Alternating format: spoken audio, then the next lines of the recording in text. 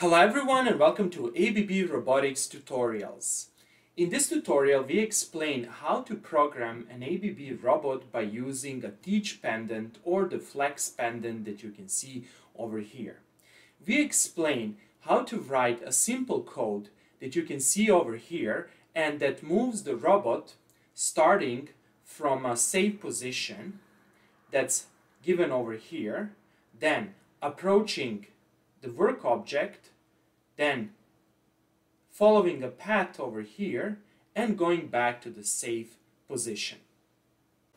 I can stop the execution of the program by pressing the stop button. Over here you can see this arrow and this arrow represents that we are currently moving to the safe position. Now, if I press this button over here, I'm going to execute only a single command. That is, over here I actually move to safe position. Then if I press again, then I will go to point P1, then I will go to point P2, P3, P4, P5, and again to save position. This is how you can manually execute your program one line at a time.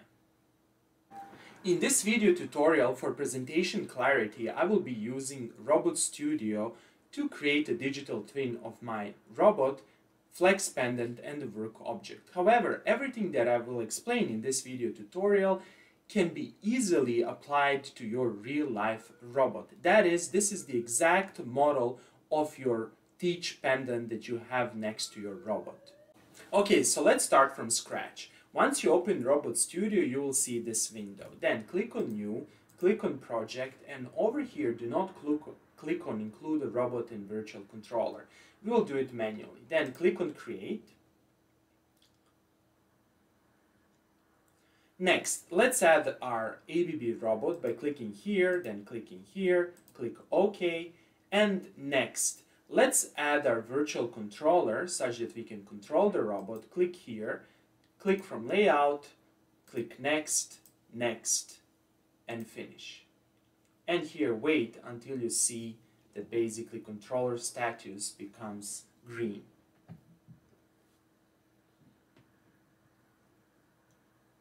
Here be patient, it will take some time. Okay, now we can continue. Next, let's briefly revise basic commands for zoom, rotate, and pan. To zoom, we need to use the middle mouse button. You simply can roll forward or backward your middle mouse button, or you can press the middle mouse button and move left or right. To rotate, press and hold Control Shift left mouse button and move the mouse left or right. Then to pan the view, press Control and hold Control and left mouse button and move left or right. Okay, the next step is to add our work object. Click on modeling. Over here, click on solid, click on box. So, so let's select the corner point of the box. But before we do that, let's just specify the length, for example, to be 350, for example. And then let's move the corner point, for example, 400. Let's do this for x, for y, minus 300. And that's it. So let's just decrease this a little bit, for example, 350. And okay, so let's click on create and here's our box. Next, let's change the color of this box. Do the right click, modify, set color, and I like this color. Click OK. Good. The next step is to bring up our teach pendant. But before we do that, we need to click on controller click on the operating mode and let's set the operating mode to manual and click on enable a device. Okay, now we can continue. If you click over here, you will see that our FlexPendant is activated. Now what I will do over here, I will pan this view to here, close this, and over here you can see my teach pendant. So let's start with memorizing the points. Namely, before we can even code the robot, it's a good practice to memorize points. So let's learn how to do that. First of all, click over here, click on jogging, and let's make sure that the motion mode is axis. Click OK.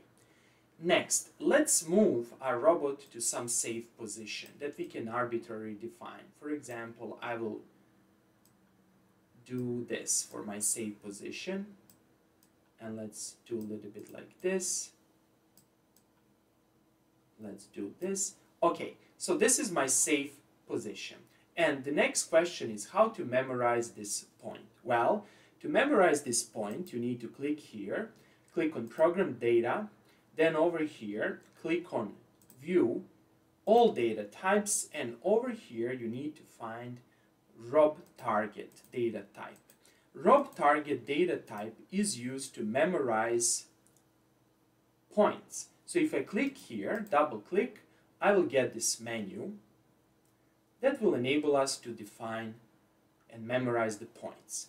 I want to memorize this point and I need to just click here on new and I will call this point safe and click OK. Now, this point is now automatically memorized. If you double click over here, you can see X, Y, and Z coordinates of this point, and this is exactly this point with respect to the coordinate system that's located over here. So what is the name of that coordinate system located over here? This is very important to know. Now, if you click on jogging, you can see that the motion mode is axis 1 or 3. You can see tool 0 and you can see work object. However, we don't see any coordinates here. To show the coordinates over here, the easiest approach is to click over here, click on linear. Currently, we are in linear motion mode and you can see exactly the coordinates of this point with respect to this coordinate system. And you can see coordinate system is here its base, and another coordinate system is work object. And you can see that the position in coordinate work object. In this particular case, the base coordinate system and work object are identical, consequently they are the same. And let's continue. Next, let's define a new point. Again, click here on program data, and first of all, move your robot to another point. So over here, let's make sure that the motion mode, for example, is linear. This means that we will move linearly along x, y, and z axis. So let's start with jogging. So let's approach our object by moving a little bit in z. We hit singularity, and this often happens when you're in the linear mode, so you have to be careful a little bit what you do. And over here, let's do this. Let's go down. And for example, again, we reach singularity, so be careful. To avoid reaching singularities, a good approach would be the following. Click on jogging, click on motion mode, and bring back the axis motion mode. And then you can actually have a better control of what you're actually doing without reaching singularity points. Okay, so let's say that this point is our first point. We can see it over here. Over here we didn't attach an end effector, but it doesn't matter. So let's memorize this point. Click here. Then over here, let's click on new. Let's call this point P1. Click OK, and here's the point P1. Next, let's create point P2. We can do that by simply moving the robot. For example, let's do this. Let this point be P2. Again, new, call the point, for example, P2. OK. And that's it. Next, let's create point P3. To do that, let's change the motion mode. Click on jogging, click on axis, click on linear, click OK. So let's change the motion mode. For example, let this point B over here, point P3. I'm here arbitrarily selecting points. There is a more elegant approach to define the points, for example, by defining a coordinate system that's attached to your work object, and then defining points manually. Okay, so let's now, now go back to the program data, click on New, and let's call this point P3, and let's click OK. Now we have safe position, we have point P1, P2, and P3.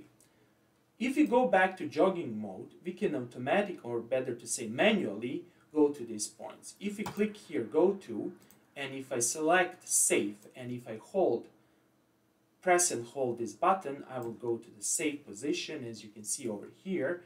Then let's go to P1, select P1, press and hold this. This is P1, this is P2, this is P3, and again we go to the save position. Next, let's create a program that will start from this point, move to P1, P2, P3, and go back. Okay, how to do that? Well, click over here and click on Program Editor, and this will automatically bring this window. And here's your program. ABB programs are organized by using procedures. And here's the main procedure. And if you're familiar with C and C++ coding, this is our main function equivalent to in ABB programming world. So we will add our program over here. The easiest way to program the robot is to click over here to add an instruction. We will use this move L, which means to move linearly to the destination point. And so let's select this option and let's click above and here is our command. Okay, so let's see this command. We have something MoveL. This is actually the instruction move linearly. Then we have this star over here that we need to edit. This will be our point. Then we have this velocity that we will also modify. Then we have the tolerance or the accuracy of reaching the particular point. And over here we have tool 0. This is actually this coordinate system over here. Now, let's first of all adjust the point. So if you click here, double click, you will see options, right? P1, P2, P3, and save. These are our points. So let's select save and click OK. Good. Let's change the velocity. For example, you can go with velocity 150, or let's do 200 millimeters per second. Let's change this accuracy of approaching the point and double click here and let's choose very accurate approach that is fine. This means that we will actually approach this point. and let's not play with this option tool 0. Okay, so this is our first point. Next, let's create another instruction. So click here to close this one first of all. Let me just do this you can simply, oops, you need to close, clear. Let me just do this for a second. If you click again here on add instruction, you will actually close this window. Next, I want to copy and paste this instruction. To do that, I will simply click on edit, then I will do copy and I will do simply paste. And you can see that I pasted this movement command. I want to move to the point P1. Okay, so how to do that? Over here, I will click on Save, double click, and select P1. And that's it. Hmm, very interesting and easy. Let's change the velocity. Since I'm approaching a point, I will go with, let's say, 100 millimeters per second.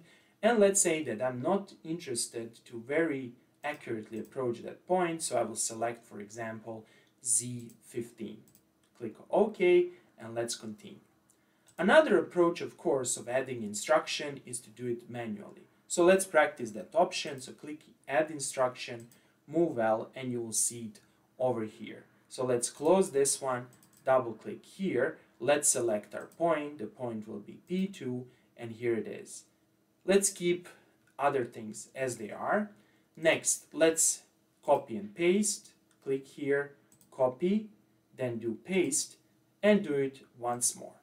Okay, close this and let's adjust the points. So let's say that we have here P2, next we need to go to P3, click OK, and finally we need to go to save position.